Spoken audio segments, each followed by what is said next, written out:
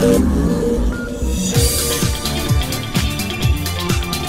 ายการมันนี่ช็อตรู้ก่อน รู้ลึก รู้เท่าทัน ทุกเกมการเงินดำเนินรายการโดย ยุทธนากระบวนแสง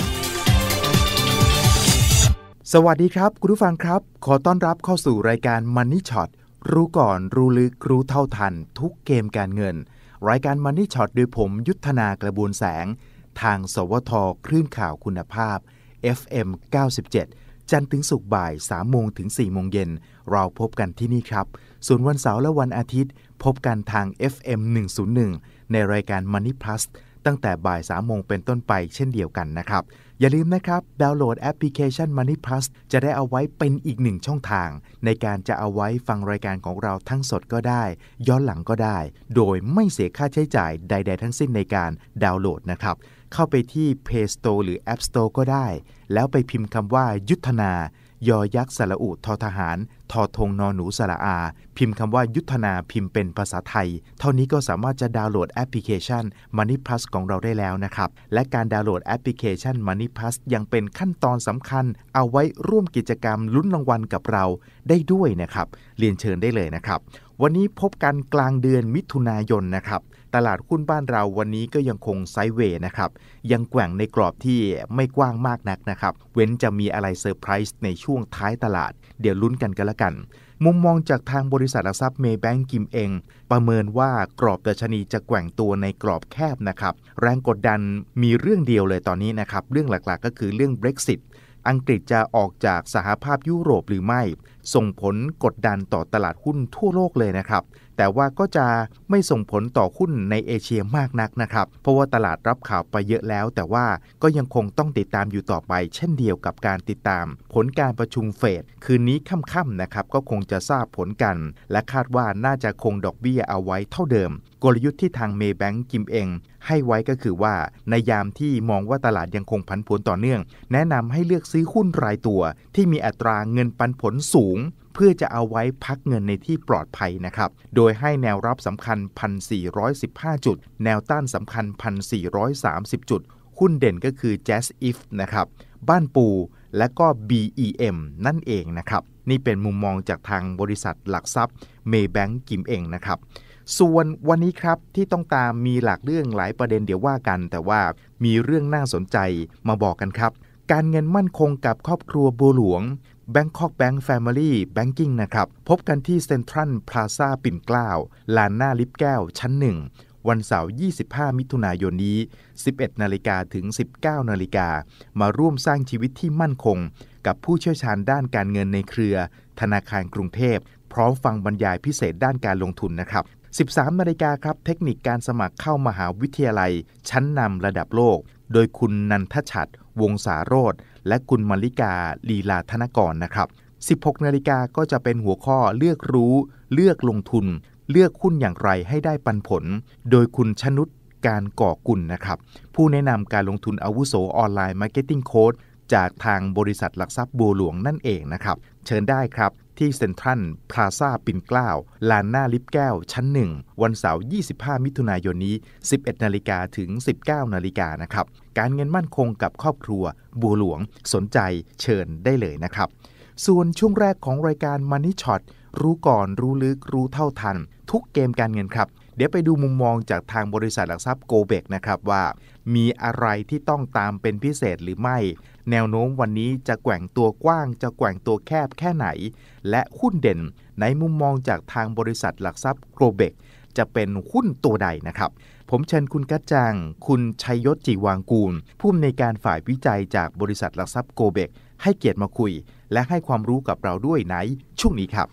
คุณชัยยศสวัสดีครับ ครับผม สวัสดีครับอ่าตลาดสภาวะแบบนี้ตกลงเนี่ยจะไซด์เวย์อย่างนี้ไปเรื่อยๆเหรอครับเนี่ย ครับผมก็แนวโน้มนะครับ มันก็น่าจะเป็นลักษณะของการแกว่งตัว เนื่องจากว่ามันมีหลายปัจจัยที่จะต้องติดตามเลยในสัปดาห์นี้ อ่าเดี๋ยวผมย้อนไปเมื่อคืนก่อนแล้วกันนะครับ ครับผม เมื่อคืนที่ผ่านมาดาวโจนส์ติดลบเล็กน้อยนะครับ ครับอะไรที่ทำให้นักลงทุนยังคงกังวลต่อเนื่องครับเนี่ยครับผมก็ยังคงเป็นความกังวลเดิมๆอยู่นะครับ อย่างครับในส่วนของการโหวต Brexit นะครับก็คือผลโหวตของอังกฤษว่าจะออกจากยูโรโซนหรือเปล่า แล้วก็การลดความเสี่ยงก่อนที่จะประชุม FOMC ซึ่งน่าจะได้ข้อสรุปในวันนี้ ก็เลยเป็น 2 ปัจจัยที่กดดันทำให้ตลาดหุ้นอเมริกาเมื่อคืนนี้เนี่ยแกว่งตัว จริง ๆ ส่วนใหญ่อยู่ในแดนลบนะครับครัลบบมากกว่าด้วย แล้วก็สุดท้ายมาปิดแค่ลบ57จุดนะครับ ครับเมื่อคืนตอนระหว่างวันเนี่ยนี่ลก็บเป็นร้อยเลยนะอ๋อฮะติดลบเป็นร้อยนะ ใช่ใช่ครับแต่ว่าตอนปิดตลาดติดลบเพียงแค่57จุดนะครับครับผมสำหรับดัชนีอุตสาหกรรมดาวโจนส์เมื่อคืนที่ผ่านมานะครับครับผมนะครับ เรื่องบอลยิวของเยอรมัน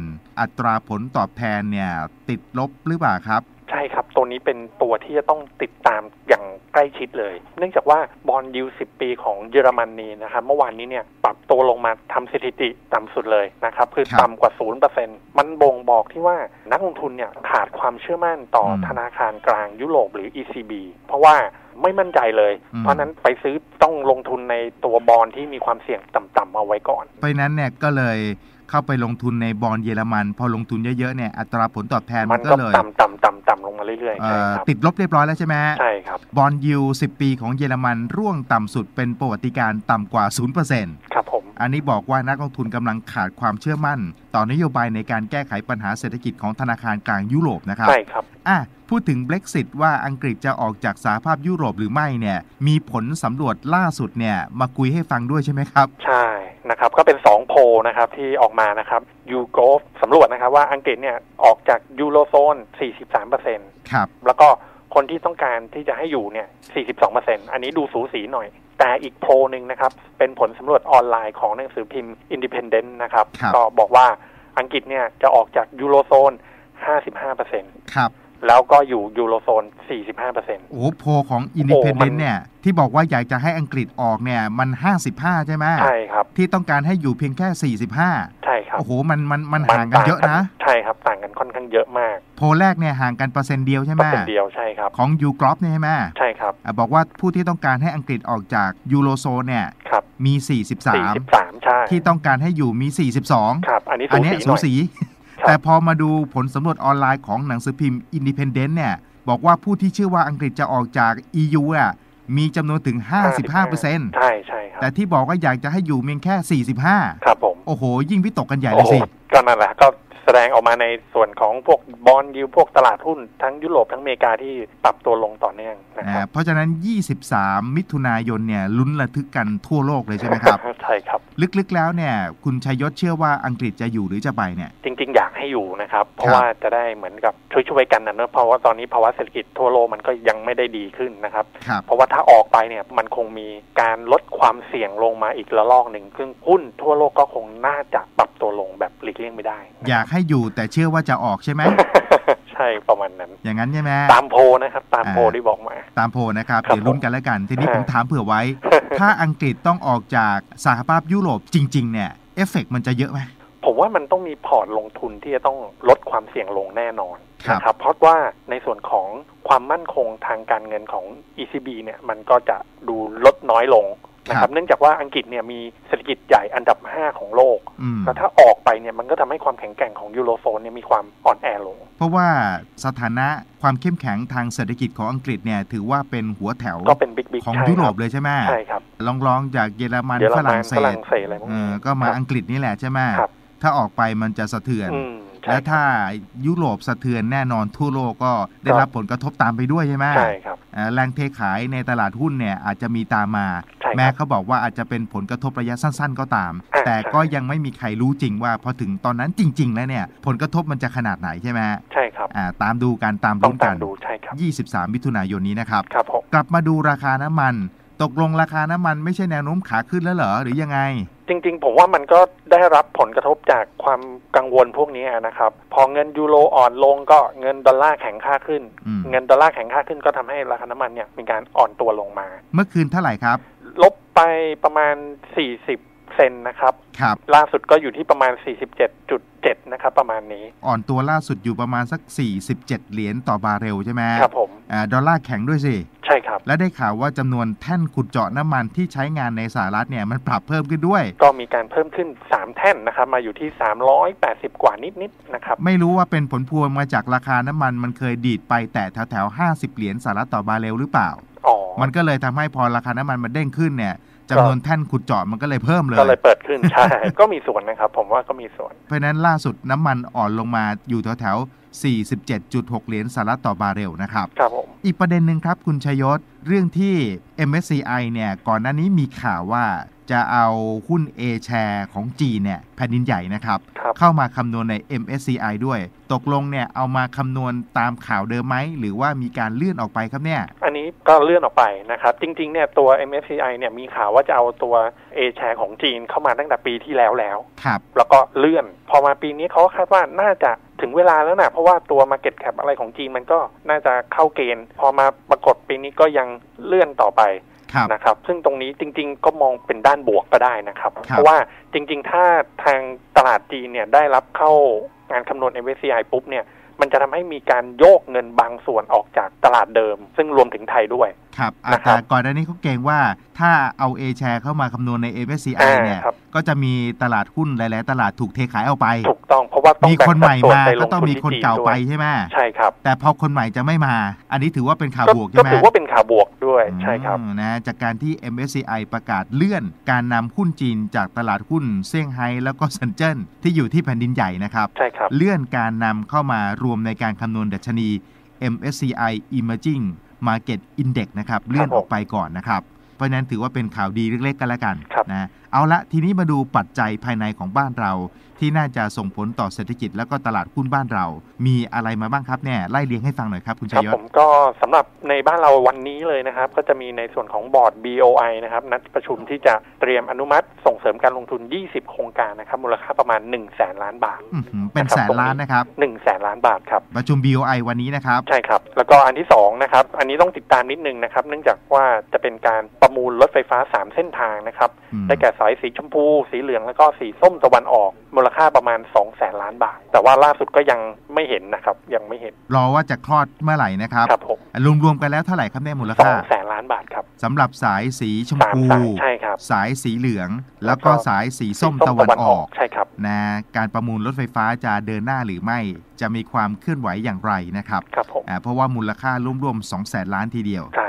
ถ้าเดินหน้าก็สร้างความมั่นอกมั่นใจให้กับนักลงทุน แล้วก็เป็นการสร้างโครงสร้างพื้นฐานที่จำเป็นในการที่เศรษฐกิจจะฟื้นตัวได้ในระยะกลางและระยะยาวด้วยนะครับถูกต้องเลยอ่าครับการประมูลรถไฟฟ้า 3 เส้นทางวันนี้ตามดูกันนะครับครับผมทั้งสัปดาห์นี้ตารางที่เหลือสำหรับอีเวนต์สำคัญๆที่นักลงทุนต้องติดตามมีอะไรกันบ้างคุณชยศครับสรุปหน่อยครับผม เย็นนี้นะครับ คืนนี้เลยนะครับ ก็ครับในส่วนของการประชุม FOMC นะครับ แต่ว่าธนาคารว่ากลางสหรัฐนะครับใช่อันนี้ก็คาดว่าน่าจะคงอัตราดอกเบี้ยนะครับครับนอกจากจะเซอร์ไพรส์ขึ้นเนี่ยนี้ก็พรุ่งนี้น่าจะปรับตัวลงกันนะครับครับอันที่สองก็คือพรุ่งนี้จะเป็นการประชุมนโยบายการเงินของ BOJ ของญี่ปุ่น 16 มิถุนายนใช่ครับการประชุมนโยบายการเงินของธนาคารกลางญี่ปุ่นนะครับครับผมตลาดคาดยังไงครับ อันนี้ก็คงไม่มีอะไรก็คือคงอัตราดอกเบี้ยแล้วก็ยังคงใช้ QE ต่อไปครับนะครับจะมีมาตรการกระตุ้นอะไรเพิ่มเติมไหมเพราะว่าก่อนหน้านี้เคยประชุมแล้วตลาดผิดหวังอะผมจำได้ ใช่ใช่คิดว่าครั้งนี้ก็คงยังนะครับ เนื่องจากผมคิดว่าทุกประเทศก็คงจะพยายาม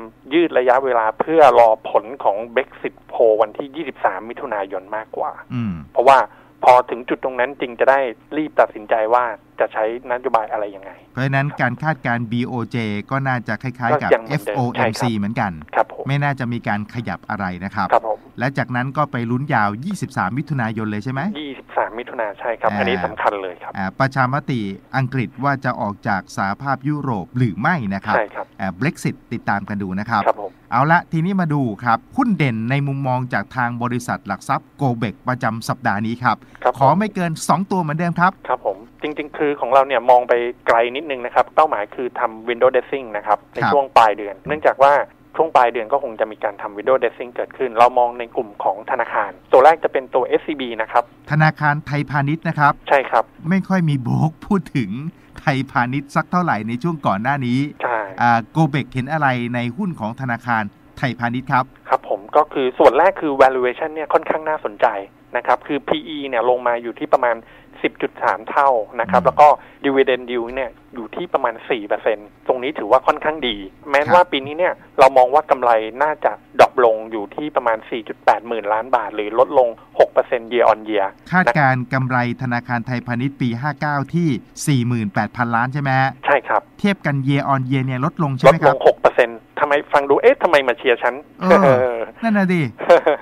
ก็อันนี้นะครับแต่ลืมนะครับพอดีช่วงสัปดาห์ที่แล้วเนี่ย SCB มีข่าวออกมาว่าจะขาย SCB Light ออกไปนะครับ อ่าอ่านะครับซึ่งตรงนี้นะทางโกเบกประเมินกำไรพิเศษอยู่ที่ประมาณ 1.2 ถึง 2.2 หมื่นล้านบาทอืมนะครับซึ่งตรงนี้ยังไม่ได้รวมในประมาณการ ครับนี่ก็นะครับจะจะเป็นกำไรพิเศษเข้ามาในปีนี้ใช่ไหมครับ ถ้าขายทันปีนี้นะครับ ก็จะบุ๊กเข้ามาในปีนี้ทัน ถ้าขายทันแล้วบุ๊กทันในปีนี้ใช่ครับก็จะเป็นผลดีจากกำไรพิเศษด้วยใช่ครับ แล้วการตั้งสำรองหนี้เนี่ยมีเพิ่มขึ้นด้วยไหมครับ ในส่วนของการตั้งสำรองหนี้อะไรพวกนี้ยังเพิ่มขึ้น แล้วก็ในส่วนของสินเชื่อก็คาดว่าจะขยายตัวได้ในระดับที่ไม่ค่อยดีนักนะครับ ประมาณ 3-3.5เปอร์เซ็นต์ยังต่ำไปหน่อยใช่ไหมครับใช่ครับ แต่ว่าก็ในส่วนของฐานะการเงินเนี่ยยังค่อนข้างแข็งแกร่งนะครับตัวครับ BIS ratio อยู่ที่17%แล้วก็เทียร์หนึ่งอยู่ที่ 14%ถือว่าค่อนข้างสูงมากนะครับไทยพาณิชย์นะครับ ทางโกเบกมองว่ายังคงมีอัตราส่วนเงินทุนทั้งหมดต่อสินทรัพย์เสี่ยง หรือว่า BIS ratio เท่ากับประมาณ 17%ใช่ครับ อันนี้ยังโอเคอยู่นะฮะโอ้สูงมากใช่ครับอ่าแล้วมีเงินกองทุนชั้นที่ 1 หรือว่า Tier 1เท่ากับ 14%ด้วย ใช่ครับกำไรจากการขาย SCB Life เนี่ยคาดว่าจะได้กำไรสักเท่าไหร่ครับเนี่ย 1.2 ถึง 20,000 ล้านบาทนะครับ ตรงนี้มันก็เป็นเลนส์กว้างๆ เพราะว่ายังไม่ทราบราคาที่แน่นอน อันนี้ยังไม่รวมในประมาณการนะยัครับไม่รวมใช่ครับนะ valuation โดยรวมของ SCB ยังน่าสนใจใช่ไหมครับ ใช่ครับตรง นี้ทางโกเบกให้ราคาพื้นฐานไว้ที่ 151 บาทนะครับ บริษัทหลักทรัพย์ g o b e c recommend ซื้อถือหรือขายหุ้นของธนาคารไทยพาณิชย์ครับ ยังแนะนำซื้อนะครับสำหรับตัว SCB นะครับ ราคาเป้าหมายเท่าไหร่ครับ 151 ครับ 151 บาทนะครับ ครับผม แล้วเก็บได้แถวไหนครับตรงนี้ถ้าตามสัญญาณเทคนิคเนี่ยราคาถ้าย่อตัวลงมา 130 ถึง 133 เนี่ย ผมว่า เป็นจังหวะในการทยอยสะสมได้นะครับ ถ้าราคาปุ้นเปี้ยนแถวแถวๆประมาณ 130 ต้นต้น131 132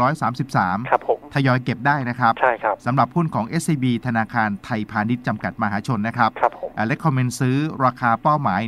151 บาทนะครับใช่ครับไปดูหุ้นเด่นตัวสุดท้ายประจำสัปดาห์นี้ครับครับผมตัวที่สองนะครับก็จะเป็นในส่วนของตัวบ้านปู ปีที่แล้วเนี่ยกำไรยังขาดทุนนะครับสำหรับงบเขา แต่ว่าปีนี้เนี่ยทางโคเบกคาดว่าจะมีกำไรเป็น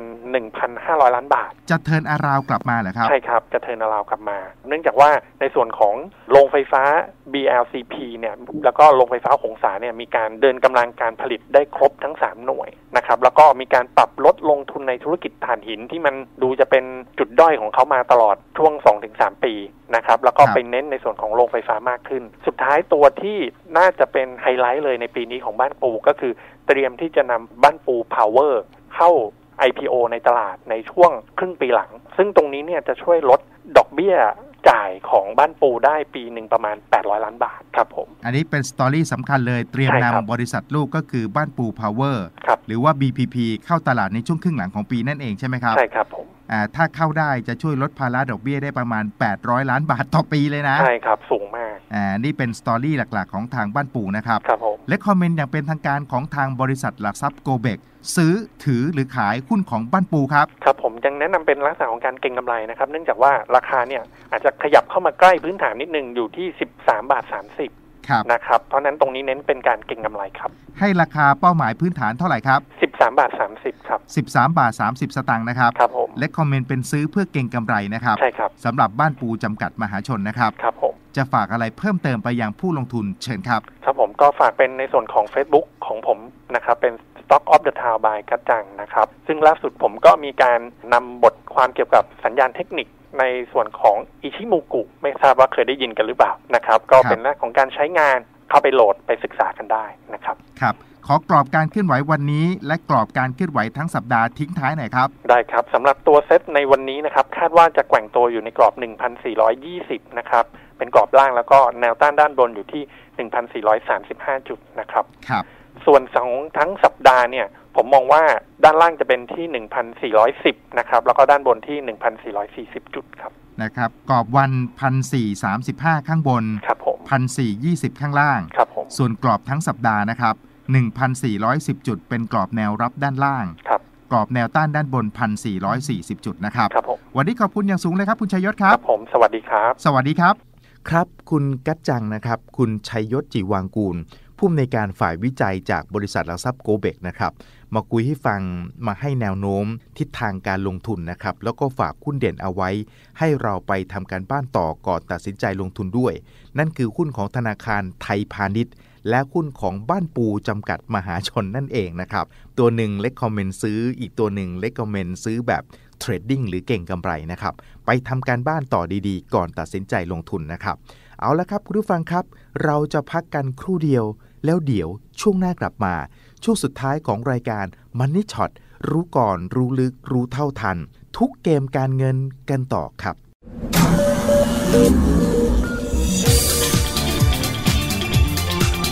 รายการ Money Shot รู้ก่อน รู้ลึก รู้เท่าทัน ทุกเกมการเงินดำเนินรายการโดย ยุทธนากระบวนแสง